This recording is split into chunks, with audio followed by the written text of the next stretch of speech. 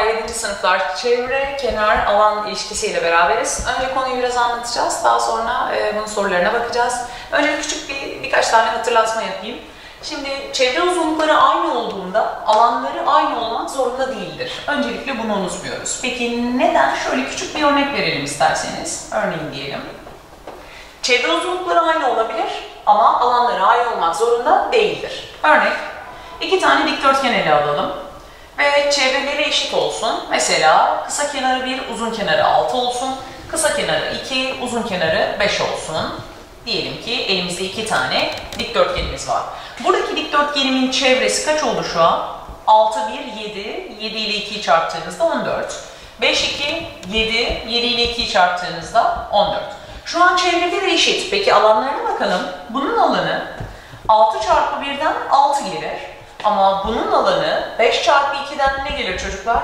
10. Ha, bu durumda biz şunu söyleyebiliriz. Diyebiliriz ki iki dikdörtgenin evet çevre uzunlukları eşit olabilir ama çevre uzunlukları eşit olduğunda her zaman alanları eşit olmak zorunda mıymış? Hayır değilmiş.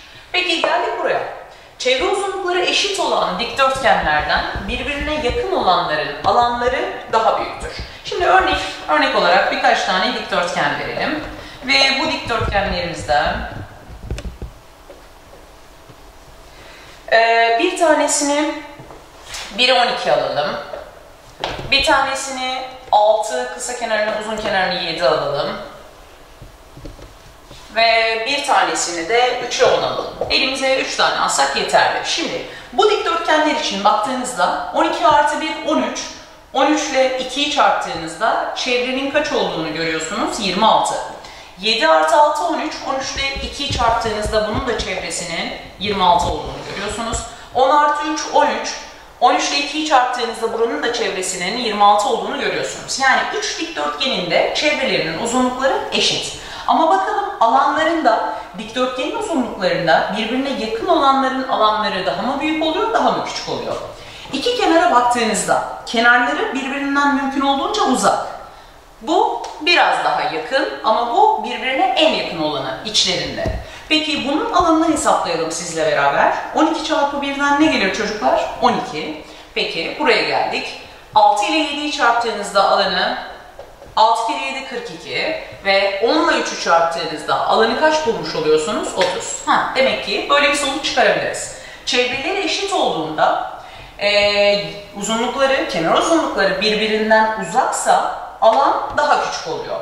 Ama kenar uzunlukları birbirine yakın seçersek, birbirine çok yakın değerler seçersek alanı içlerinde en büyük olanı seçmiş oluyoruz. Demek ki kenar uzunlukları birbirine yakınsa alan büyük, kenar uzunlukları birbirinden uzaksa o zaman alan daha küçük olur. Ayrıca bir de şunu söyleyelim.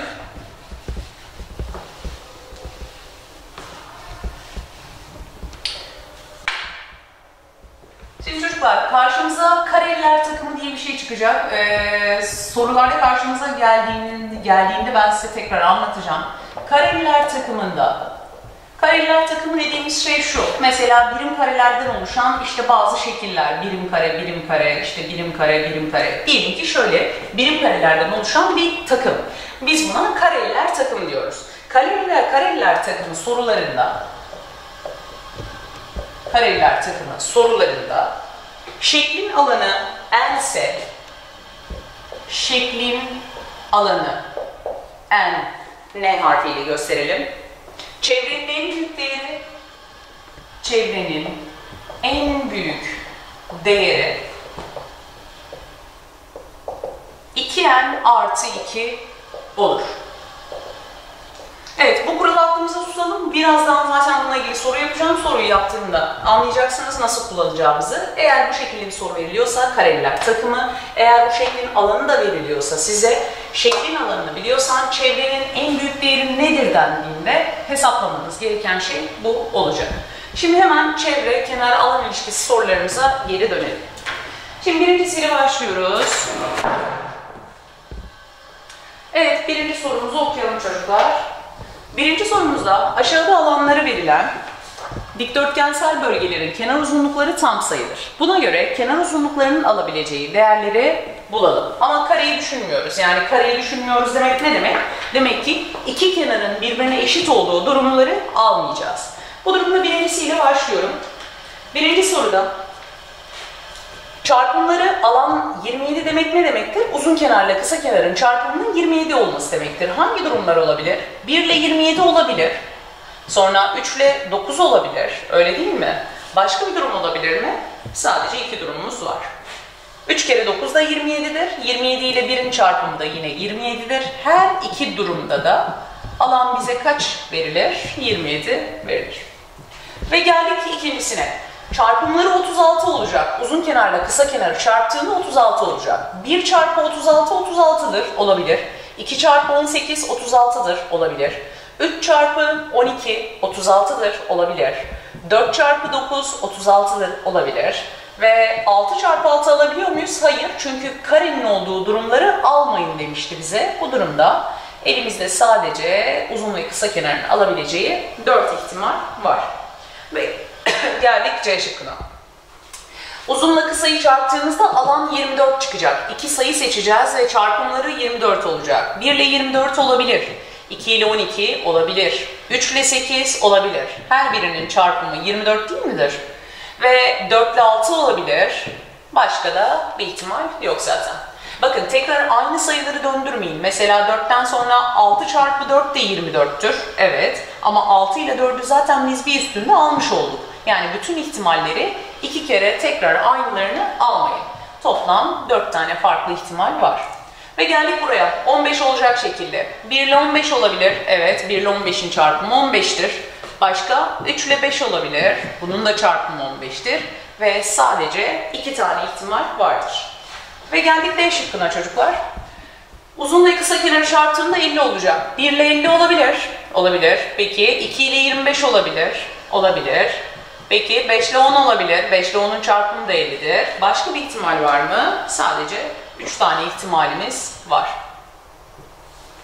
Aşağıdan alanları verilen dikdörtgensel bölgelerin kenar uzunlukları tam sayıdır.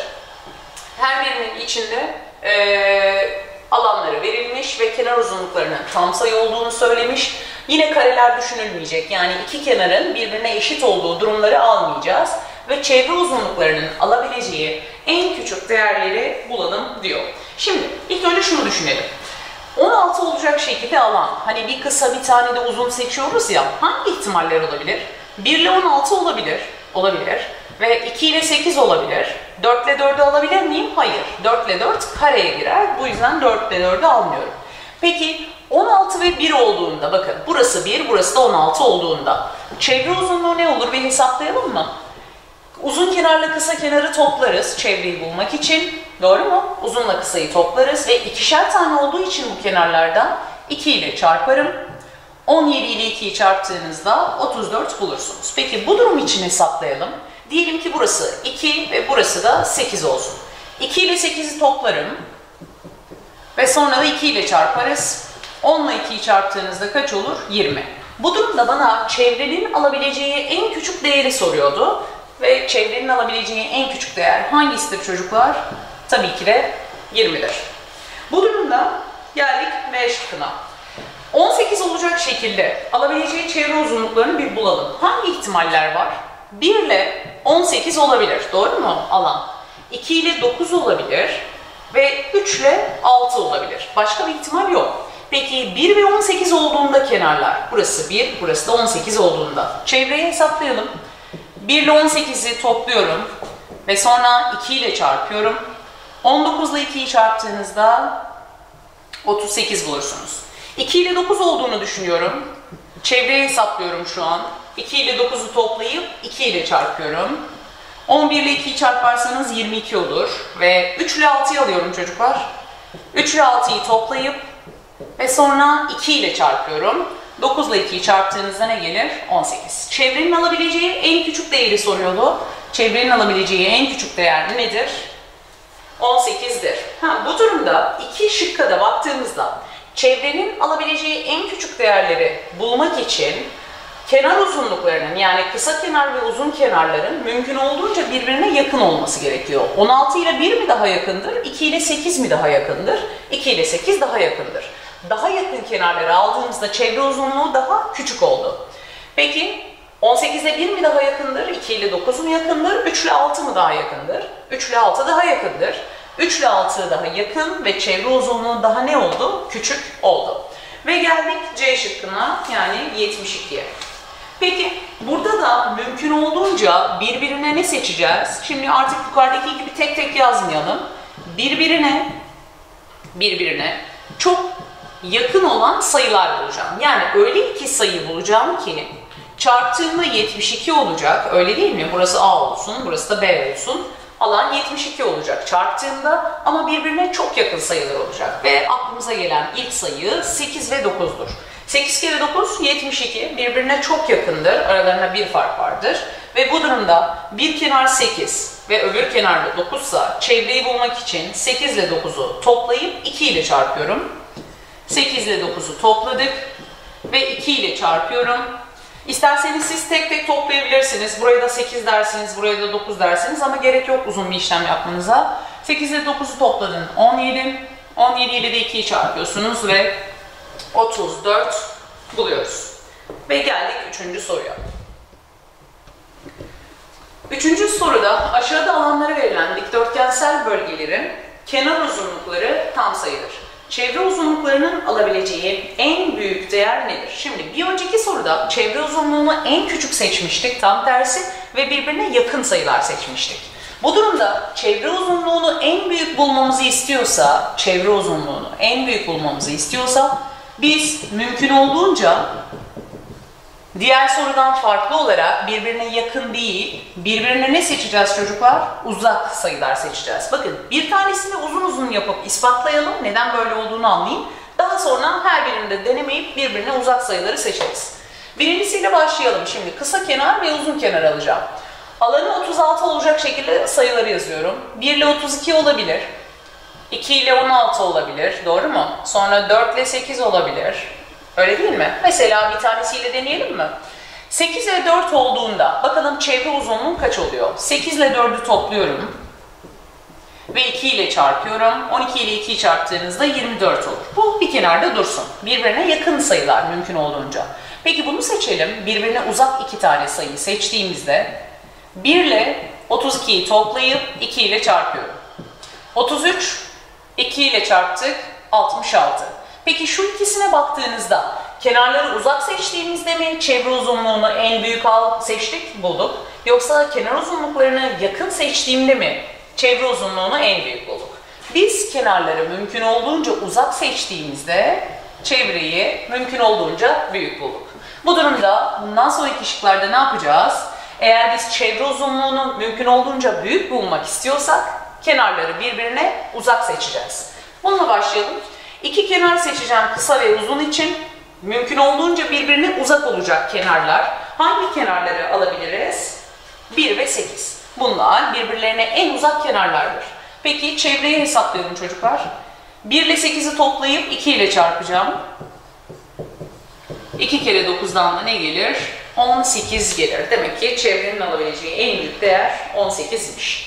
40 için de aynı şey geçerli. Birbirine uzak e, kısa ve uzun kenar seçeceğiz. Mümkün olduğunca uzak. Yine 1 ile 40 almak çok mantıklı. Daha uzak bir sayı bulamazsınız. Çarpımları 40 olan. Peki 40 ile 1 aldık. Çevre uzunluğunu hesaplıyorum. 1 ile 40'ı toplayıp 2 ile çarpıyoruz ve 82 buluyoruz. Ve geldik diğer soruya. Aşağıda çevre uzunlukları verilen dikdörtgensel bölgelerin kenar uzunlukları tam sayıdır. Çevre uzunlukları verilmiş. Buna göre alanların alabileceği en büyük değerleri bulalım. Ve kareyi düşünmüyoruz. Yani kareyi düşünmemek ne demek bir daha söylüyorum. İki kenarın birbirine eşit olduğu durumu düşünmüyoruz. Peki başlıyorum. Çevre uzunlukları eğer 16 ise birinci soru için söyleyelim. İki kenara bir harf verelim. Biz normalde çevre uzunluğunu nasıl buluyoruz? A ile B'yi topluyorum ve 2 ile çarpıyorum. Ve çevre uzunluğu kaç verilmiş? 16. 16'yı 2'ye böldüğünüzde 16'yı 2'ye böldüğünüzde A artı B'yi kaç bulmuş oluyorsunuz? 8. Peki A artı B 8 olacak şekilde hangi sayılar vardır? Bir bakalım. Neler olabilir yani? A birken bu 7 olabilir. Bu 2 iken bu 6 olabilir. Toplamları hep 8'dir bunların. Bu üçgen bu 5 olabilir. Bu dörtgen bu 4 alamayız çünkü kareyi düşünmüyorduk ve bu kareye girer. 4 ve 4'ü almıyorum. Peki bu ihtimallerde bana alanın alabileceği en büyük değeri soruyor. Yani A1, B7 iken 1 çarpı 7'den alan ne gelir? 7. 2 çarpı 6'dan alan ne gelir? 12. 3 çarpı 5'ten alan ne gelir? 15. Peki biz hangi durumda A ve B'ye verdiğim değerlere karşılık alanı en büyük bulduk? Alanı en büyük bulduğumuz durum 15'tir.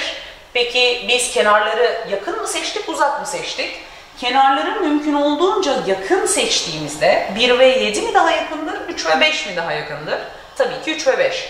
Kenarları yakın seçerseniz dikdörtgendeki alanı mümkün olduğunca büyük bulursunuz. Yani yapmamız gereken bu soruda kenarları mümkün olduğunca ne seçmek? Yakın seçmek. Bakın soruda kenarı yakın mı seçeceğim, kenarları uzak mı seçeceğim buna karar veremiyorsanız ilk önce bir tane soruyu bu şekilde deneyin. Ve alanı en büyük bulduğunda bak bakalım. Kenarlar yakın mı seçildi, kenarları uzak mı seçtiğimle bu durum karşılaştı. Ve ondan sonra zaten kendi kuralını belirlemiş olacaksın. Şimdi geldik buraya. Şu soruyu bir siliyorum. B şıkkıyla devam ediyoruz çocuklar. Yine aynı mantıkla yapacağız. Çevresi 28. Şimdi çevre 28 demek ne demektir? Biz bir dikdörtgenin çevresini böyle buluyoruz ve 28'i 2'ye böldüğünde şuradaki A artı B'yi 14 bulmuş oluyorsun. Öyle iki sayı bulacağım ki ben birbirlerine çok yakın olacak ama 7 ve 7 alabilir miyim? Hayır. 7 ile 7'nin toplamı evet 14'tür ama 7 ile 7 ne olur? Bir kare olur. Bu yüzden alamıyorum. Peki 7 ve 7 alamıyorsam başka ne alabilirim? 8 ve 6 alabilir miyiz? Birbirlerine en yakın değer budur, doğru mu? Ve 8 ve 6 aldığımda da alanı 6 kere 8'den 48 buluyoruz. Demek ki bir kenara 6 bulmuş olduk, diğer kenara 8 bulmuş olduk. 6 kere 8 de 48'dir diyoruz. Ve geldik diğer soruya. Birbirine yakın mümkün olduğunca değerler alacağız. Bakın şimdi çevre budur. 2 çarpı a artı b 10'a eşit. Onu 2'ye böldüğünde burayı kaç bulmuş olacaksın? 5. Öyle iki sayı bulacağız ki toplamları 5 olacak ve birbirine çok yakın sayılar olacak. O zaman 2 ile 3 aklıma gelen birbirlerine çok yakın ve 2 ile 3'ün çarpımından da alanı kaç bulmuş oluyoruz çocuklar? Alan 6 bulmuş oluyoruz. Ve geldik B şıkkına. Yine çevreyi 2 çarpı a artı b ile hesaplıyorum. Ve 22'ye böldüğümde burayı kaç bulmuş olacağız çocuklar? 10 mu? Şimdi öyle iki sayı bulacağım ki toplamları 10 olacak. Ama 5 5 verebiliyor muyuz? Hayır. Çünkü bu kare olur. Eğer 5 5 verirsem bir kare olur ve kareyi düşünmüyorduk. Doğru mu? O zaman bu durumu sildik. Peki başka 5 5 dışında birbirine en yakın değerler nelerdir? Toplamları 10 olacak şekilde 6 ile 4'ün toplamı 10'dur ve birbirine çok yakındır. 6 ile 4 seçtiğimize göre 6 kere 4'ten ne gelir? Alanımız 24 gelir. Demek ki Deniz D, D şıkkının cevabı da 24'müş diyoruz. Ve geldik 5. soruya. Aşağıda çevre uzunlukları verilen dikdörtgensel bölgelerin kenar uzunlukları tam sayıdır. Buna göre alanların alabileceği en küçük değer nedir? Şimdi bakın bu soruyu gördüğünde aklında şu e, belirmeyebilir. Yani acaba ben şimdi kenarlarını yakın mı seçeceğim, uzak mı seçeceğim? Şu an ben de hiçbir şey bilmediğimi farz edersem kuralı biz kendimiz bulalım. Bakın. Şimdi bu bir çevre doğru mu? Peki çevreyi şöyle bulmuyor muyuz? 2 çarpı A artı B. Buraya A, buraya da B olduğunu düşünürsen. Ve çevre 12 değil miymiş? 12'yi 2'ye böldüğünde burayı kaç bulmuş olursun çocuklar? 6 mı? Şimdi ben öyle iki sayı bulacağım ki Toplamları 6 olacak. Neler olabilir? 1 ile 5 olabilir. 2 ile 4 olabilir. Peki 3 ile 3 verebilir miyiz? Hayır veremeyiz çünkü 3 ile 3 kare olduğu durumu gösterir. Bunu alamıyoruz. 1, 5, 2 ve 4 aldım. Peki 1 ve 5 aldığında yani A1 burası da 5 olduğunda 1 çarpı 5'ten alan ne gelir? 5 gelir. 2 çarpı 4 olduğu durumda 2 çarpı 4'ten alan ne gelir? 6. Peki hangi durumda alanın en küçük değerine ulaştık? Sayıları birbirinden uzak seçtiğimizde mi en küçük? En küçük 5 değil mi bu arada? En küçük alanı 5 bulduk. Sayıları uzak seçtiğimde mi buna ulaştım yoksa sayılara yakın seçtiğimde mi buna ulaştım? Tabii ki sayıları mümkün olduğunca birbirine uzak seçtiğimizde, birbirine uzak seçtiğimizde alanı mümkün olduğunca küçük bulmuş olduk. Eğer sayıları birbirine yakın seçersek alan daha da ne oluyor? Büyüyor. Bu durumda dikkat etmem gereken bu soruda demek ki neymiş? Sayıları, kenarları mümkün olduğunca birbirine uzak alacağız. Şimdi ikilisiyle başlıyorum. B şıkkıyla. Çevrem 18'miş yani 2 çarpı A artı B 18. 18'i 2'ye böldüğümüzde şurayı ne bulmuş oluyoruz? 9 mu? Peki iki sayı bulacağım ve bu sayıların toplamı 9 olacak. Ve birbirine mümkün olduğunca ne olacaktı? Uzak sayılar olacak. O zaman 1 ile 8 seçmem sanki en mantıklı gibi. Çünkü 1 ve 8'den daha uzak bir sayı yok toplamları 9 olan. 8 ile ve 1'i çarptığımızda alanımızı kaç bulmuş oluyoruz? 8 bulmuş oluyoruz. Ve geldik C'ye. Birbirine uzak sayılar seçiyorduk ve çevremiz 14'tü. Hemen çevreyi yazıyorum. 2 çarpı A artı B 14 ise A artı B'nin kaç olması lazım? 7. 7 kere 2 14. Peki öyle iki sayı bulacağım ki toplamları 7 olacak çocuklar ve birbirlerine uzak olacak. 1 ile 6 değil mi bu sayılar? Birbirine uzak. 6 ile 1'in çarpımından da alanı kaç bulmuş oluruz? 6 bulmuş oluruz. Yine aynı şekilde çevremizi 2 çarpı A artı B ile hesaplıyorum ve 30 olacak. 30'u 2'ye böldüğümüzde biz burayı kaç bulmuş oluruz? 15. Şimdi öyle iki sayı bulacağım ki toplamları 15 olacak ve birbirlerine çok uzak olacaklar. Ve 1 ve 14'ün toplamı 15'tir ve birbirlerine en uzak sayılardır. Ve 1 ile 14'ü çarptığınızda alanı 14 bulmuş oluruz. Ve şimdi geldik 6. soruya.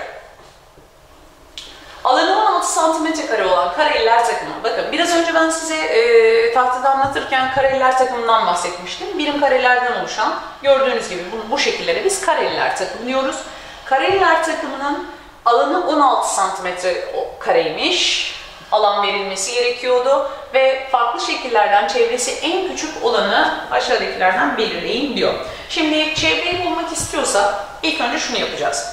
Eğer e, alanı 16 santimetre kare ise biz alanı bulmak istiyorsak bir tanesinin alanının kaç olduğunu biliyorum. 4. Çünkü 4, 4, 4, 4 olduğunda 4 kere 4'ten alan ne gelir? 16 gelir. Peki her biri bir kare değil mi? Yani şuradaki karenin alanının 4 olması gerekmiyor mu? Buradaki kare 4 olabilmesi için bir kenarın uzunluğunun kaç olması gerekir? 2. Demek ki her bir kenar kaçmış çocuklar? 2, 2, 2, 2, 2 ve 2. Peki bana çevresini en küçük olan aşağıdakilerden belirleyin diyordu. Hemen bunun çevresine ulaşalım. 4, 8, 12, 16. A şıkkı için çevremizi kaç bulduk? 16 bulduk. Peki ikincisi için yapalım.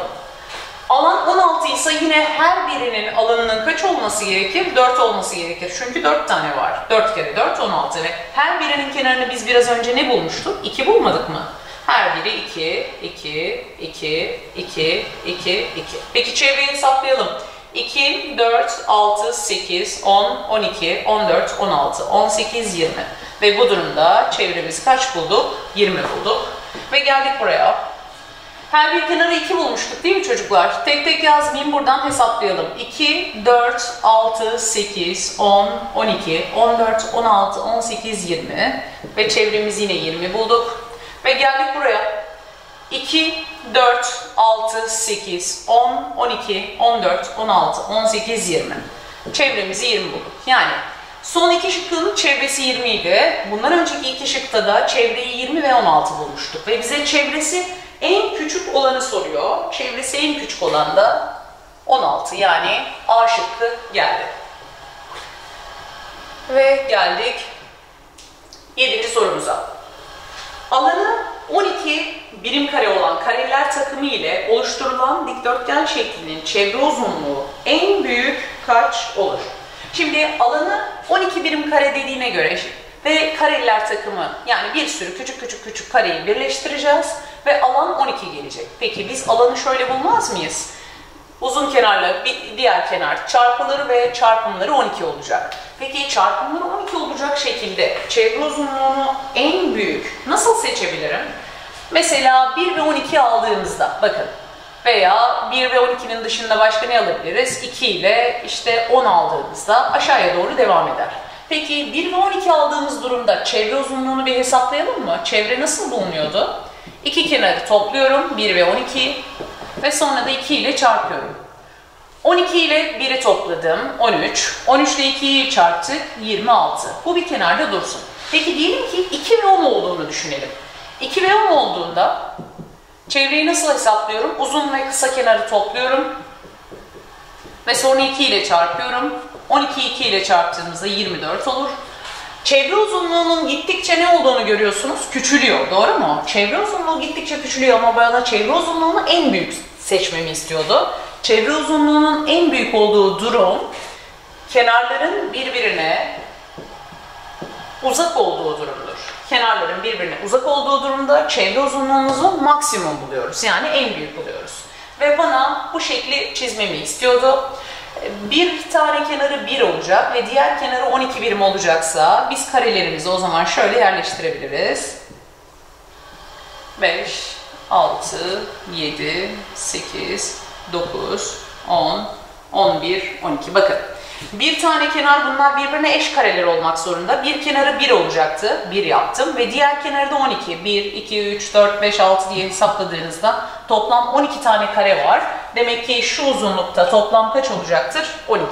Bu durumda bir kenarı 1 ve diğer kenarı 12 olan bir kareler takımı oluşturmuş olduk. Şeklimiz bu.